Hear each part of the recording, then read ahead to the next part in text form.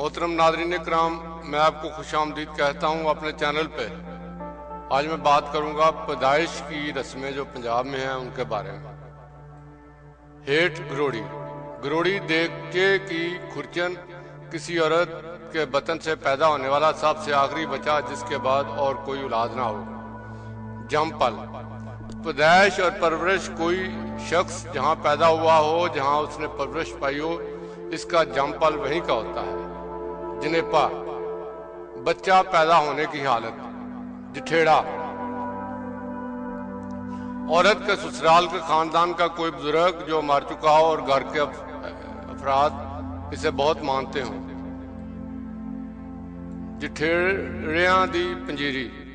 एक किस्म की पंजीरी जो घी में, बुनी हुई सूजी में खुश्क मेवाजात और दीगर लवाजमात मिलाकर बड़े इतमाम से तैयार की जाती है। और ख़ास तौर पर जेठों को पेश की जाती है।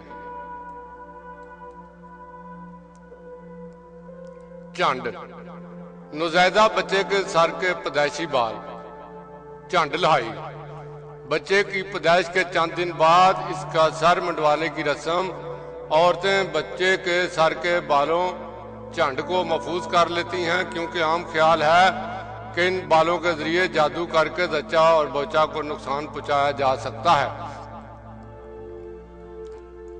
छिला, बच्चे की पदाई से लेकर 40 दिन की मुद्दत इस दौरान में बच्चा और बच्चा दोनों नापाक समझे जाते हैं और इनको घर से बाहर नहीं निकाला जाता है इसे सूतक भी कहते हैं।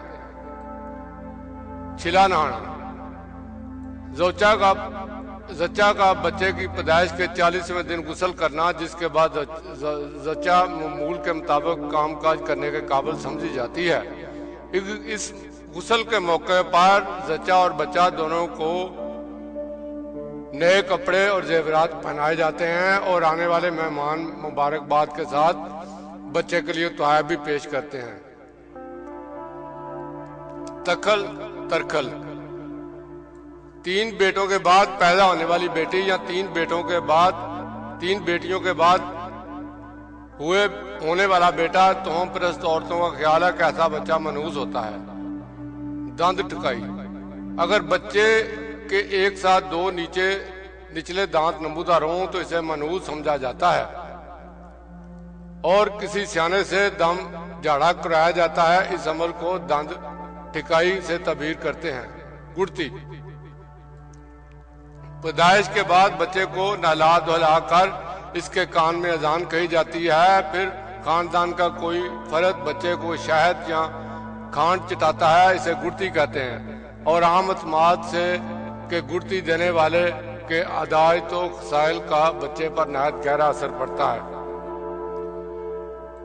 दाबड़ा, खुशक मेवाजात को कूट कर और घी में तल कर खांड मिलाकर तैयार की हुई खुश्क गजा जो नहायत मकवी होती है और छिले के दौरान जच्चा को दी जाती है।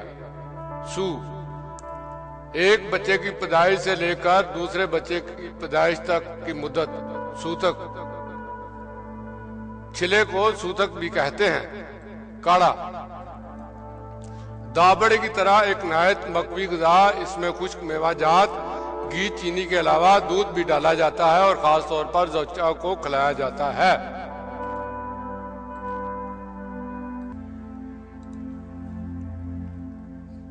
ग्यो खिचड़ी। लड़का पैदा होने की खुशी में ननियाल की तरफ़ से भेजे हुए तोहफे, खुराक, कपड़े वगैरह जो जच्चा और जच्चा और बच्चा दोनों के लिए होते हैं। मुँह मिठात लड़के की पैदाइश पर मिठाई खिलाने की रस्म, जिसमें कारब, में तफीक, गुड़, शक्कर, बताशे, लड्डू वगैरह तकसीम किए जाते हैं। बुधावा चांदी की हंसली जो बच्चों के गले में डाली जाती है, जिन औरतों की इंसाना बचती हो, वो मिन्नत मानती हैं कि महीने मुद्दत तक हर साल अशूरा मुहर्रम में बच्चे को चांदी की अंसली पहनाएँगी, ये अंसली पैसे मांग कर बनाई जाती है और मुकर्र मुद्दत के बाद इनको फरोख्त करके सारी रकम की खीर पका कर बच्चों को खिला दी जाती है। नाड़वा। बच्चे की नाफ की रग जिसके ज़रिए वो बतन मादर में अपनी गजा हासिल करता है, बच्चे की पैदाइश पर नाड़ो जुदा करके पहले जो औरतें मौजूद हों, वही छले तक अंदर आ सकती हैं, दूसरी औरतों के छिले तक जवचा बच्चा के पास आने की ममानत होती है। इस मौका पर माँ की रिश्तेदार औरतें दाई को कुछ ना कुछ लाख के तौर पर देती हैं। बढ़िया सुनता। बाद लोग बच्चों के खतरे की रस्म बड़ी धूमधाम से मनाते हैं। शादी का सा हंगामा होता है और सारी बरादरी को मधु किया जाता है।